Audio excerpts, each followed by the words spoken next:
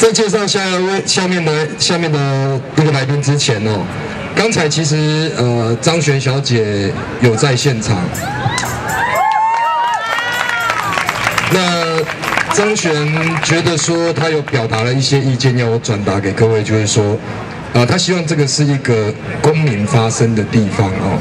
那这些这些我们这些导演很辛苦，因为我们先要带领着大家知道说我们要怎么样发出声音。那他也觉得说把这个舞台留给大家。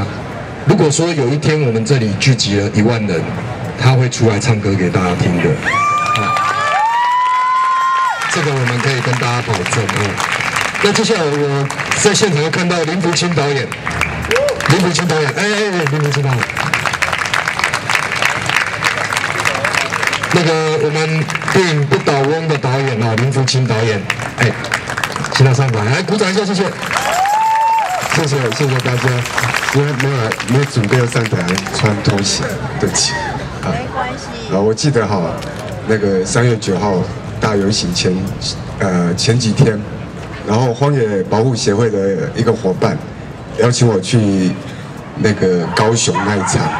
然后我就跟他讲说，不行，三月九号那天有人找我跟他睡，啊，什么谁找你睡？我说柯以正导演找我睡，他说啊你要出柜了，对吧？我说出柜，我说那个柯以正导演应该也看不上我，哦，我们在夜宿凯道，哦，所以他找我一起睡，所以我就上来台北这一场。然后我儿子前一天问我说，你为什么要去游行？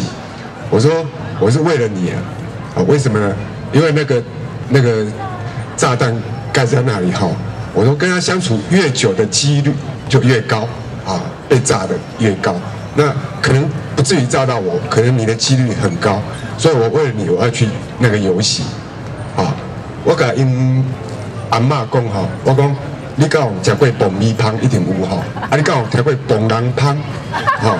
我说那个爆了以后哈，我就我们就是跟那个爆米花一样哈。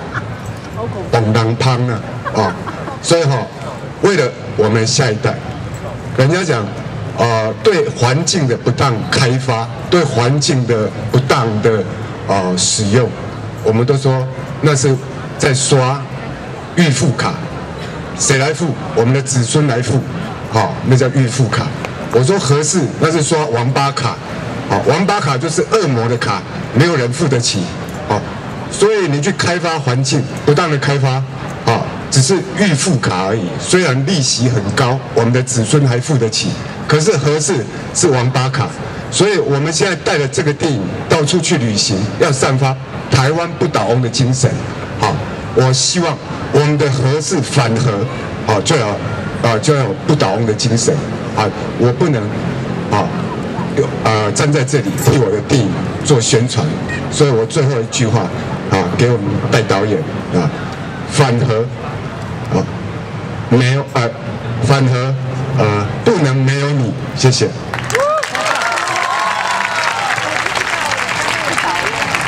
好，谢谢不倒翁的导演林福清哦。